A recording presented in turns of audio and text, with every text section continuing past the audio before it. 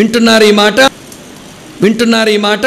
నువ్వు దేవుని ఆత్మాభిషేకము కలిగిన దానవైతే నువ్వు దేవుని ఆత్మాభిషేకము కలిగిన వాడవైతే నీ డబ్బు విషయంలో డిసిప్లైన్ ఉండాలి. టైం సమయము ధనము ఈ రెండు విషయంలో డిసిప్లైన్ లేకుండా నాకు ఆత్మాభిషేకం ఉందని చెప్పడం అది మోసపు మాట అవుతుంది. జాగ్రత్త సుమ. మూడో సంగతి చెప్తాను. మూడో సంగతి ఏంటనంటే శరీరం విషయంలో కూడా క్రమశిక్షణ ఉండాలి. అమ్మా ఏం చెప్పాను? ఇంద్రియ నిగ్రమ గల ఆత్మను దేవుడిచ్చాడు కాబట్టి సెల్ఫ్ డిసిప్లైన్ స్పిరిట్ ఇచ్చాడు కాబట్టి సమయము ధర్మ విషయములో క్రమశిక్షణతో పాటు మనము దేంట్లో క్రమశిక్షణ ఉండాలంటే శరీర విషయములో కూడా క్రమశిక్షణ ఉండాలి. ఈ శరీరానికి నానా రకాలైన కోరికలు ఉంటాయి. దేవుని ఆత్మ చేత ఈ శరీరాన్ని నలగొట్టుకోవాలి. కొంతమంది శరీరాన్ని డిసిప్లిన్ చేసుకోక అమ్మ వింటున్నారా? ఏవండి తినకూడనివి తిన్నవి.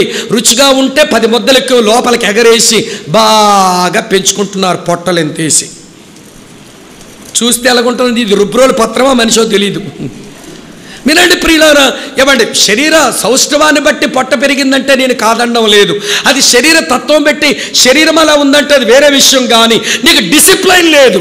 రుచిగా ఏమి లేకపోతే తినవు. కడుపులో గాలి పేర్చి చేర్పించుకుంటావు రుచికరమైన భోజనం దొరికితే బాగా నింపేసుకుంటావు. ఇప్పుడు శరీరం ఏమవుతుందంటే దీనికి క్రమం ఉండక అడ్డదిడ్డంగా పెరుగుతూ ఉంటుంది. కొంతమంది టై కడితే అది టయ్యా పామో తెలియదు పొట్ట మీద నిలబడతా ఉంటుంది. అది టయ్యో పామో మనకు అర్థం కాదు. ఎందుకు ఇట్లా పెంచేసుకుంటున్నాము?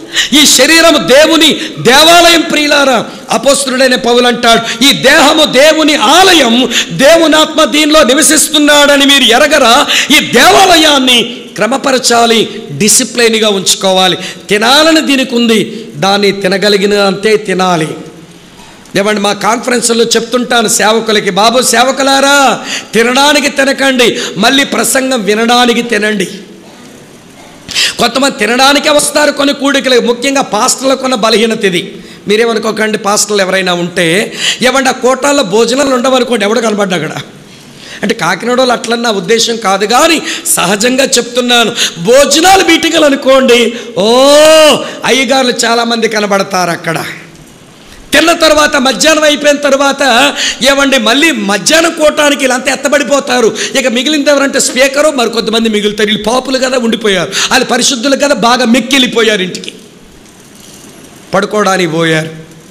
ప్రియులారు ఇక్కడ తినటం పడుకోవడం. శరీరానికి డిసిప్లైన్ లేక తినగలిగినంతగా తిని నిద్రపోవలసినంతగా నిద్రపోయి కష్టపడవలసినంతగా కష్టపడి చెమట ఓర్చవలసినంతగా చెమటను ఓర్చి ఇట్లా పని చేయడం రాక ఈ శరీరానికి డిసిప్లిన్ లేకుండా ఉంచుతున్నాం.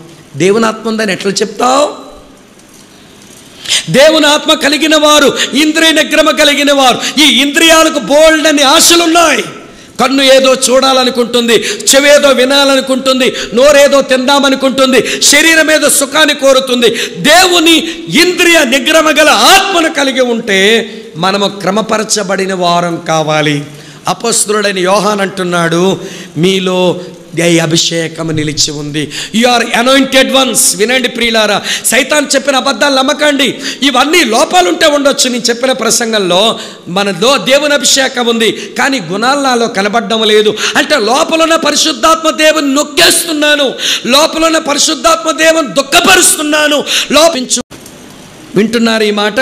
నువ్వు దేవుని ఆత్మాభిషేకము కలిగిన దానవైతే నువ్వు దేవుని ఆత్మాభిషేకము కలిగిన వాడవైతే నీ డబ్బు విషయంలో డిసిప్లైన్ ఉండాలి.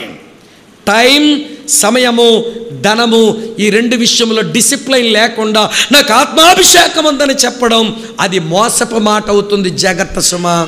మూడో సంగతి చెప్తాను. మూడో సంగతి ఏంటనంటే శరీరం విషయంలో కూడా క్రమశిక్షణ ఉండాలి. అమ్మా ఏం చెప్పాను? ఇంద్రియ నిగ్రమ గల ఆత్మను దేవుడిచ్చాడు కాబట్టి సెల్ఫ్ డిసిప్లైన్ స్పిరిట్ ఇచ్చాడు కాబట్టి సమయము ధనమ విషయంలో క్రమశిక్షణతో పాటు మనము దేంట్లో క్రమశిక్షణ ఉండాలంటే శరీర విషయంలో కూడా క్రమశిక్షణ ఉండాలి. ఈ శరీరానికి నానా రకాలైన కోరికలు ఉంటాయి. దేవుని ఆత్మ చేత ఈ శరీరాన్ని నలగొట్టుకోవాలి. కొంతమంది శరీరాన్ని డిసిప్లైన్ చేసుకోక అమ్మ వింటున్నారా? ఏవండి తినకూడనివి తిన్నవి. రుచిగా ఉంటే పది ముద్దలెక్కి లోపలికి ఎగరేసి బాగా పెంచుకుంటున్నారు పొట్టలు ఎంతేసి. చూస్తే ఎలాగుంటుంది? ఇది రుబ్రోలు పత్రమా మనిషో తెలియదు వినండి ప్రియులారా ఏమండి శరీర సౌష్ఠవాన్ని బట్టి పొట్ట పెరిగిందంటే నేను కాదండం లేదు. అది శరీర తత్వం పెట్టి శరీరం అలా ఉందంటే అది వేరే విషయం కానీ నీకు డిసిప్లైన్ లేదు. రుచిగా ఏమి లేకపోతే తినవు. కడుపులో గాలి పేర్చి చేర్పించుకుంటావు. రుచికరమైన భోజనం దొరికితే బాగా నింపేసుకుంటావు. ఇప్పుడు శరీరం ఏమవుతుందంటే దీని క్రమం ఉండక అడ్డదిడ్డంగా పెరుగుతూ ఉంటుంది. కొంతమంది టై కడితే అది టయ్యా పామో తెలియదు పొట్ట మీద నిలబడతా ఉంటుంది. అది టయ్యో పామో మనకు అర్థం కాదు. ఎందుకు ఇట్లా పెంచేసుకుంటున్నాము? ఈ శరీరము దేవుని దేవాలయం ప్రియులారా అపోస్తుడైన పౌలు అంటాడు ఈ దేహము దేవుని ఆలయం దేవునాత్మ దీనిలో నివసిస్తున్నాడని మీరు ఎరగరా? ఈ దేవాలయాన్ని క్రమపరచాలి డిసిప్లైన్గా ఉంచుకోవాలి. తినాలని దీనికి ఉంది దాన్ని తినగలిగిన అంతే తినాలి. ఏమండి మా కాన్ఫరెన్స్లో చెప్తుంటాను సేవకులకి బాబు సేవకులారా తినడానికి తినకండి మళ్ళీ ప్రసంగం వినడానికి తినండి. కొంతమంది తినడానికే వస్తారు కొన్ని కూడికలు. ముఖ్యంగా పాస్టర్లకు ఉన్న బలహీనత ఇది. మీరేమనుకోకండి పాస్టర్లు ఎవరైనా ఉంటే ఏమంటే ఆ కోటాల్లో భోజనాలు ఉండవనుకోండి ఎవడు కనబడ్డా అక్కడ? అంటే కాకినాడలో అట్లా నా ఉద్దేశం కాదు కానీ సహజంగా చెప్తున్నాను. భోజనాలు మీటింగ్లు అనుకోండి ఓ అయ్యగారులు చాలామంది కనబడతారు అక్కడ తిన్న తర్వాత మధ్యాహ్నం అయిపోయిన తర్వాత ఏమండి మళ్ళీ మధ్యాహ్నం కోటానికి వీళ్ళంతా ఎత్తబడిపోతారు. ఇక మిగిలింది ఎవరంటే స్పీకరు మరి కొంతమంది మిగులుతారు. వీళ్ళు పాపులు కదా ఉండిపోయారు. వాళ్ళు పరిశుద్ధులు కదా బాగా మెక్కిలిపోయారు ఇంటికి. పడుకోవడానికి పోయారు. ప్రియులారు ఇక్కడ తినడం పడుకోవడం. శరీరానికి డిసిప్లైన్ లేక తినగలిగినంతగా తిని నిద్రపోవలసినంతగా నిద్రపోయి కష్టపడవలసినంతగా కష్టపడి చెమట ఓర్చవలసినంతగా చెమటను ఓర్చి ఇట్లా పని చేయడం రాక ఈ శరీరానికి డిసిప్లిన్ లేకుండా ఉంచుతున్నాం. దేవుని ఆత్మ ఉందని ఎట్లా చెప్తావు? దేవుని ఆత్మ కలిగిన వారు ఇంద్రియ నిగ్రమ కలిగిన వారు ఈ ఇంద్రియాలకు బోల్డ్ అని ఆశలున్నాయి.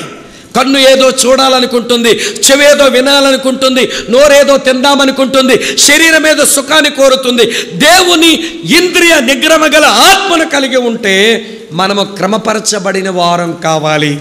అపస్తుడైన యోహాన్ అంటున్నాడు మీలో ఈ అభిషేకం నిలిచి ఉంది. యు ఆర్ అనాయింటెడ్ వన్స్ వినండి ప్రియులారా సైతాన్ చెప్పిన అబద్ధాలు నమ్మకండి. ఇవన్నీ లోపాలుంటే ఉండొచ్చు. నేను చెప్పిన ప్రసంగంలో మనలో దేవుని అభిషేకం ఉంది కానీ గుణాలు నాలో కనబడడం లేదు. అంటే లోపలున్న పరిశుద్ధాత్మ దేవుని నొక్కేస్తున్నాను. లోపలున్న పరిశుద్ధాత్మ దేవుని దుఃఖపరుస్తున్నాను. లోపించు